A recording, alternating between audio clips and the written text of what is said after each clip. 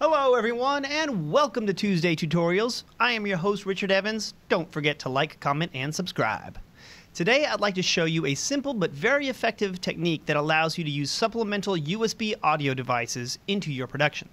So you can use simple plug and play USB headsets like this, for example, for TalkBack or another audio source. You can even use this same technique for other USB devices like an audio interface. But today I'm going to stick with these headsets that make it easy for you to communicate with your guests and monitor audio levels.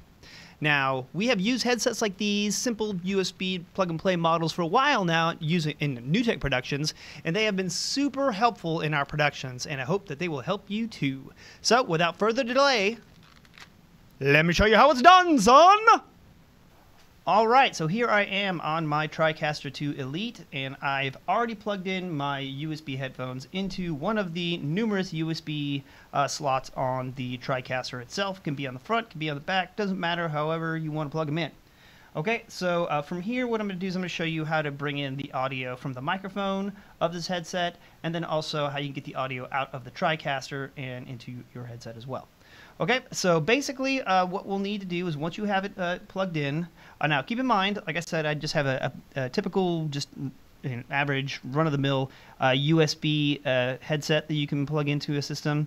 Uh, but if you're, say, running a, uh, a an audio interface, this same principle will apply. Now, some of them might uh, require you to install certain drivers, etc., but you can exit out to Windows and do that. But with these USB headsets, we've had a few different versions of them, and they're pretty easy. Just plug them in, good to go. Don't really have to do anything other than just plugging them into the system. Okay? So, first of all, let's go ahead and bring that into one of our audio sources here. So I'm going to go and bring it into TalkBack. This is typically where uh, we use those in our production here. And let me mute it just in case audio starts to bleed over. Okay.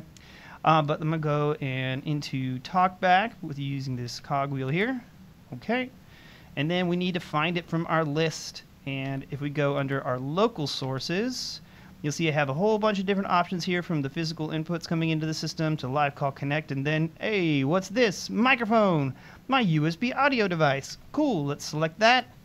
And you can already hear, see the, uh, the levels bouncing on my talkback, okay? So now I got my headphones, put them onto my head, and now I can start to talk to people, you know, from, from there.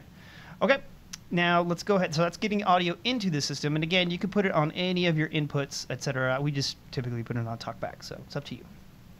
So now let's go ahead and route our headphones to the actual physical headphones of this device.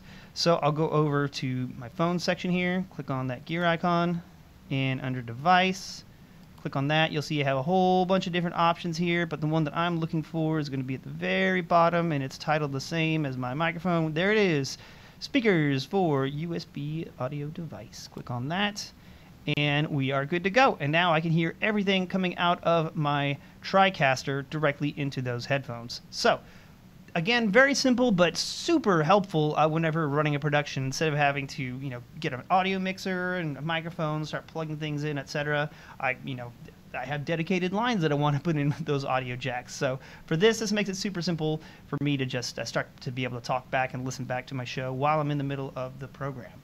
So very fun, very cool, very simple.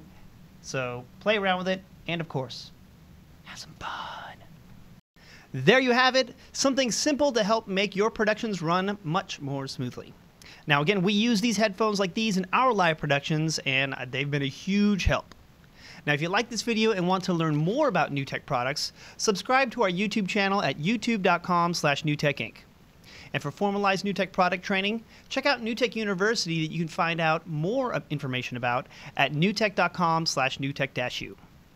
And for more information on NewTek products and services, contact your local NewTek partner or visit our website, newtek.com. And as always, if you're working with NewTek products and posting your work on social media, make sure that you tag us using the hashtags NewTek, TriCaster, or 3Play. We love seeing all the hard work that you're working on. Thank you so much for watching. I really appreciate it, and I'll see you again soon for another episode of Tuesday Tutorials.